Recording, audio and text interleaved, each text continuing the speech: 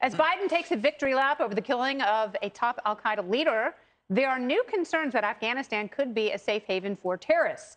Ayman al Zawahiri, I always, I always say it wrong, uh, who was bin Laden's deputy and the mastermind behind 9 11. He was killed by a CIA drone strike while standing on a balcony in Kabul. The CIA had tracked his, this top terrorist for months before taking him out in a wealthy area where he was staying with his family at the home of an aide to a Taliban leader. Zawahiri's boldness to be out in the open raises alarms that Al Qaeda could be making a comeback in Afghanistan. The White House says that's not the case. So we know that the Taliban was harboring the world's most wanted terrorist. You guys gave a whole country to a bunch of people that are on the FBI most wanted list. What did you think was going to happen? I take issue with the premise that we gave a whole country to terrorist groups. I mean, again, I'd, I'd, I'd, I'd encourage you to ask. Harboring the world's number one terrorist. The question, I mean, Peter, the way you asked that, it makes it sound like we owned Afghanistan a year ago. It wasn't our country. Um, it was an independent sovereign state. And the president made a bold decision to end a war that had been going on for 20 years. But we said at the time that as we depart Afghanistan, we're going to keep vigilant. We're going to stay ready, and we're not going to let Afghanistan become a safe haven for terrorists who threaten our homeland. It always was. We don't own it, but we paid a lot of money for it for a long time. So it was kind of like a long term lease. Uh, hasn't it always been a haven for terrorists? When did we ever think that we could trust the Taliban? No, of course not. And we're not going to debate whether we should have pulled out or not. That debate is over. If a Republican's elected president next or another Democrat, neither president is going to put more soldiers back into Afghanistan.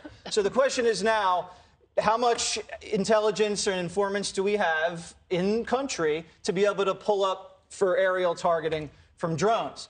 And it looks like we have some good assets on the ground because we just wiped this guy off the map with this ninja bomb, a Hellfire blade missile. They, these things just slice you up like that. It doesn't even explode. Slap chop. I love it. Uh, I wish I wish I had known about ninja bombs before. I would have been talking about that forever. Um, yes, we're going to see terrorist groups reconstitute in Afghanistan. I think we should assume that, mm. but we just have to keep our eyes on them with, with surveillance up in the sky. That's why we have such expensive satellites.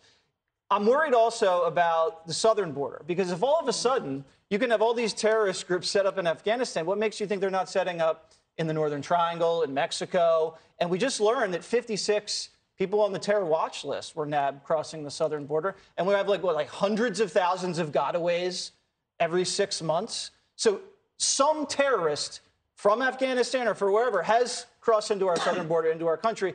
And the Biden administration has not done anything about it. That's what worries me. So if they haven't done anything about it to this point, you know, what is the plan going forward? Because as much as people admire Admiral Kirby, and you know he does a much better job than any other communications person uh, in the federal government, especially right now. Uh, do we can we be assured that the United States has a plan going forward for what might be brewing in Afghanistan specifically, not to mention other countries and regions? They said their plan was always this over horizon capability, which when they pull out of Afghanistan, was questioned because we don't have a, any base nearby, especially since we keep a base in Afghanistan to carry out these attacks. So the White House is using this moment, which is great for the country, great for the world, um, to say that, that that plan is working. Now, they're trying to spin their way out of the one year anniversary of the catastrophic Afghanistan withdrawal, which was a complete disaster, one of the largest hostage crises we've ever seen. There's still people trapped there who to get out, people who helped us in the war. Um, and it doesn't excuse that, but it is good to know that they were able to take him out. However, I was thinking about the Bowe Bergdahl swap because when they did that big Rose Garden ceremony and it was like, we got our guy back, and they sold it as this really amazing thing. And then people started asking questions about what actually happened, and it turns out it wasn't what, it, what they said it was. This is kind of similar. Um, you know, great strike, glad he's dead, but the fact that he was in Kabul just hanging out, being harbored by the Taliban, raises lots of questions about what's happening there. And Kirby said this afternoon that Al Qaeda is not reconstituting itself there. But this morning, he said that they were actively planning attacks. So it is a problem. Um, but if they can handle it in the fashion that they did over the weekend, then that's a very good thing. And it keeps soldiers off the ground as well. Yes, and, and that is obviously the ultimate goal. And to your point, no president is going to commit ground troops to Afghanistan. Um, but, you know, did the botched withdrawal have an impact on who felt confident reconstituting over there? You know, and, and if we had gotten out differently, would we have a, a different outcome in terms of who's there right now?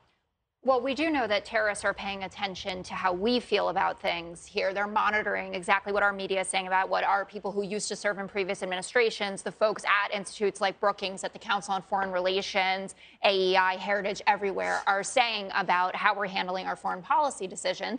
And the Afghanistan withdrawal was bad. universally decried, right? And everyone was talking about how we are weaker for the way that it was done, not that it wasn't the right decision. So I think they're certainly measuring that. And to add to Katie's point about how he was just hanging out on a balcony at home in you know in the capital his wife and daughter came a few months earlier and they were just roaming around like normal people there as well and we know how valuable obviously uh, families are of these kinds of terrorists what i think is interesting looking forward is you know what's next for al-qaeda so the guy who was the number three guy bin laden then al-zawahiri and al-adel i think is how you pronounce his name he actually lives in iran mm-hmm which creates a whole other complication to this. So people have questioned his credibility in terms of coming to the top of the heap because of that. Or does this mean that now we're going to be expanding, mm-hmm. right? And wouldn't Iran love to get in on this kind of conversation? And then are we going to see, uh, you know, a confluence of these states that are being run by terrorists turning against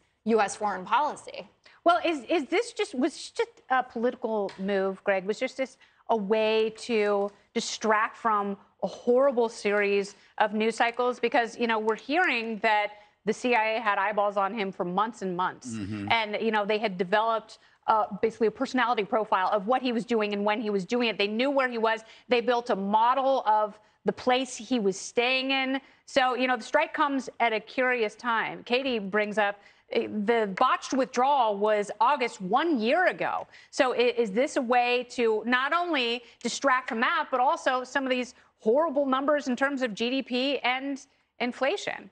I don't know. I mean, you know, it was like the media was dying to write those Joe's got his groove back articles. They were almost pre written like obituaries.